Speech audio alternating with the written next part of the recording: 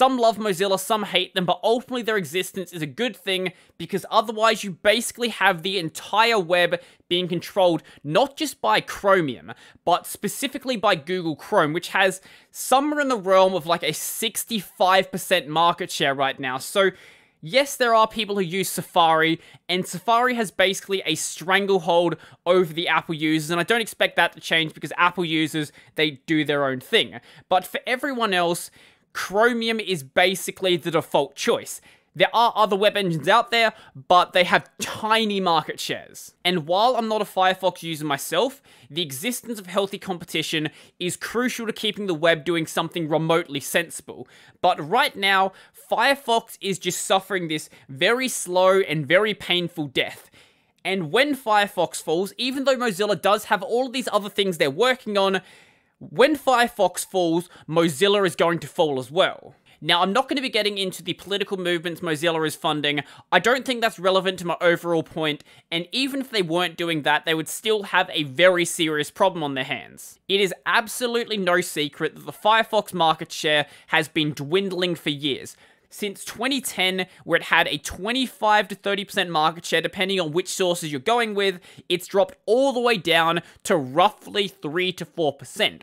While it is still like the third biggest browser, the gap to the second place is absolutely massive. I believe that Safari is somewhere in the realm of 15 to 20%, and it's really the only thing alongside Chrome that's actually been growing, basically pulling from Firefox and the other small web browsers. Now, why is it a problem if Firefox goes away? And for that matter, let's say that once Firefox goes away, Chrome actually starts eating away at the Safari user base as well, to the point where Chrome is basically the only big web browser, and then there's other little web browsers that have maybe a couple thousand users, but nowhere near the level of what Google Chrome has. So let's go back in time a bit let's go back in time to the days of Internet Explorer 6.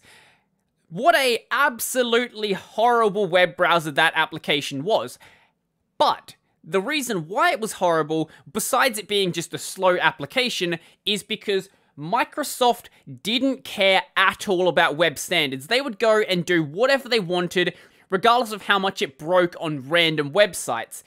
And this is the reason why if you go and use some old school websites or old government websites, a lot of them still rely on Internet Explorer because that was the only browser actually built around those messed up Microsoft standards. But back in 2010, the web browser landscape was very, very different. So even though Internet Explorer did have a pretty big market share at 25 to 30% depending on your numbers, things like Firefox had a pretty big market share as well, and Chrome had a pretty big market share, and even though Safari was the smallest out of them, it still had a pretty decent market share.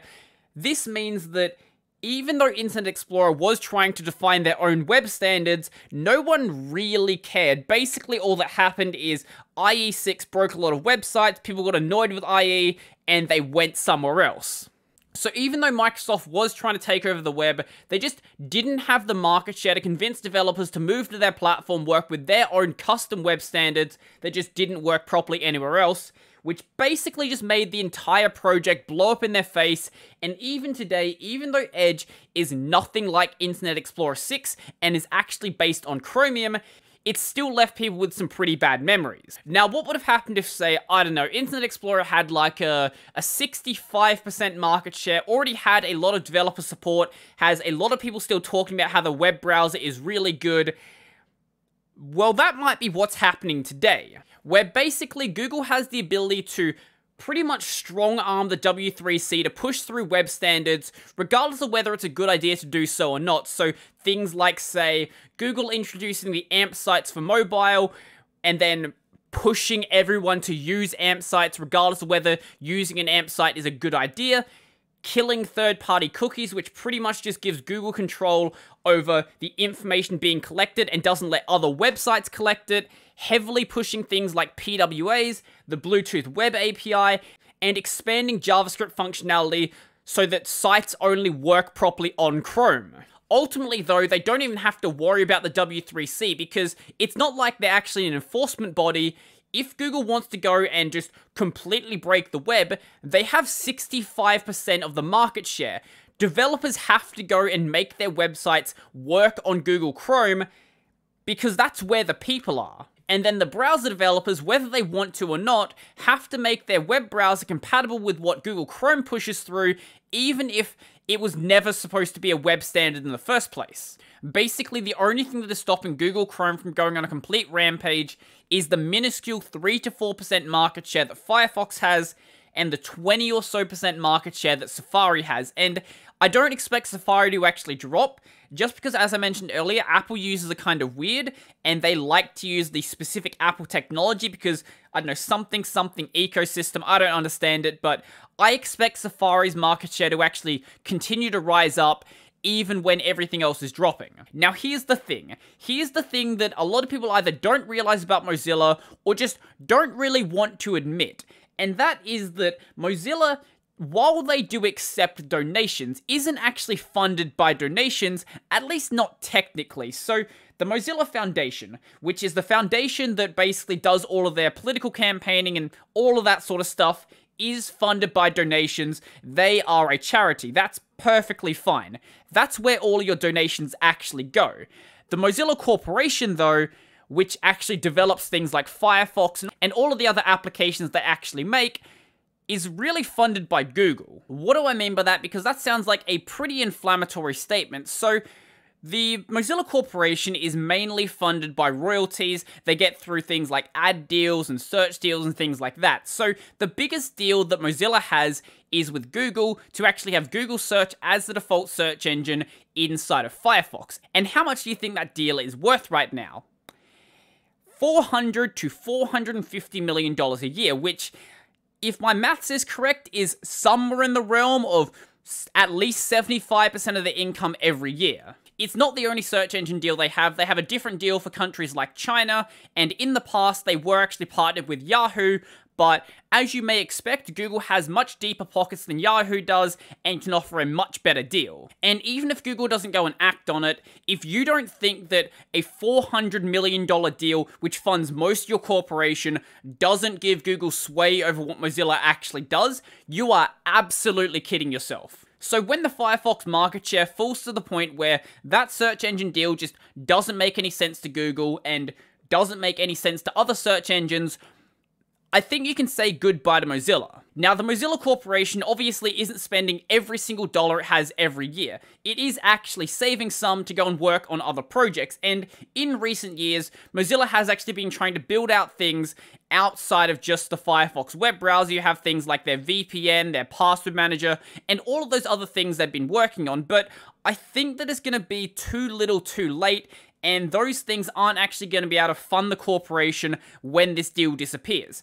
I think that if they'd started earlier and actually started building up some way to be financially independent from their search deal, they actually would be able to survive, but I am very worried what's going to happen now. Now, prior to 2020, Mozilla had about a thousand employees, but in January, they fired 70 of them, and then I believe halfway through the year, they fired another 250, losing about a third of their staff. Now, like every other company that did mass firings during 2020, it was obviously blamed on COVID, but I think that it was more likely that was the straw that broke the camel's back, and years of mismanaged funds is far more likely the problem. Because while things like a VPN are really cool, and if Mozilla made it, I don't know, five years ago, it could actually be a really big application.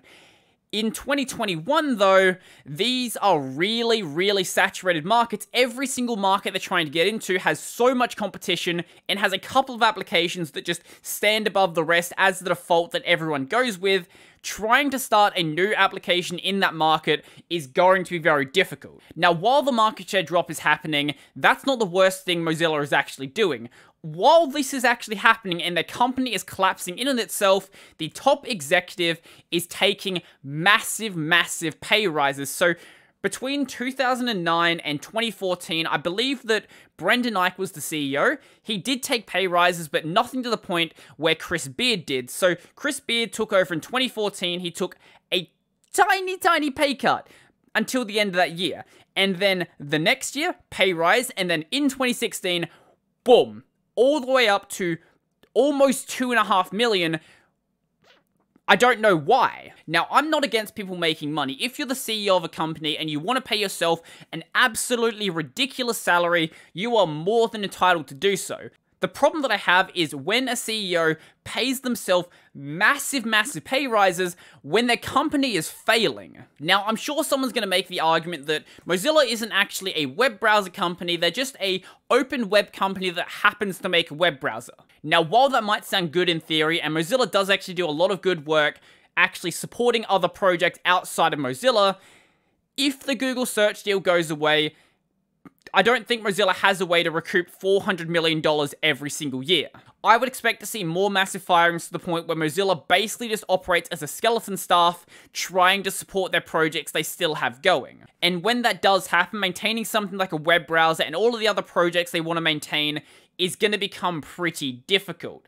Now, I don't think that Firefox is ever really going to disappear. It's just that Mozilla's support of it probably will go away at some point. Firefox still has a pretty big support inside of the open source developer community, so it'll probably just exist as just another one of the open source web engines that people kind of work on as like a side project. Now, I don't know what could actually be done to stop this, or at least slow it down, because while people in the open source and FOSS communities do actually understand these problems, the people you need to convince are the normies, because the normies are the vast majority of people, and they pretty much control what has the market share. And I don't know if you're going to convince just random people out there that they should go and use Firefox just to save the web, because they don't really understand the things that are actually going on behind the scene. Maybe you'd be able to convince a couple of people, but there's not enough distinguishing features between Firefox and Chrome that could actually make someone want to switch over from what they're already using when Chrome does everything a web browser needs to do. Yes, it is very privacy invading, and yes, there are serious problems with actually using the application, but from a normie's perspective, it, it's a web browser, and that's all that matters in the end. I know this is kind of a grim video, but the Google-controlled web is the future we're going to get, regardless of whether we want it or not. If you want to make a blog talking about, I know, how much you think the Google sucks, you can go and do so over on Linode. If it runs on Linux, you can run on Linode. They have the distros you'd expect available, like Ubuntu and Debian, but also Arch and Gentoo because why not? They've got multiple server plans available, so whether you want to host a blog or a personal VPN, you know there's going to be one that fits you. Going forward, I'll be using Linode to host all of my community game nights. If you need help, Linode has 24-7, 365 support available by phone regardless of your plan size. So right now, you guys can get started on Linode with $100 credit by going to the link on screen or in the description down below. Linode was in the game three years before Amazon entered cloud computing, so you know they know their stuff. A huge thank you to Linode for sponsoring the channel. I think that's going to be basically everything for me, but before I go, I would like to thank my supporters. So a special thank you to Chris, Joachim, Donald, Michael, Andre, Nathan, David Monza, Will, Brennan, Chico Bento, Jamie Joseph, Mitchell Peter D, Stephen Tony Shushar, and all of my $2 supporters. If you'd like to go support my work, them links down below to my Patreon, subscribe star, Liberapay, all that sort of stuff. I've got my podcast, Tech Over Tea, available basically anywhere, and then this channel is available on Odysee, LBRY, and BitChute if you want to watch my content on a platform that isn't YouTube. So I think that's pretty much everything for me, and I'm out.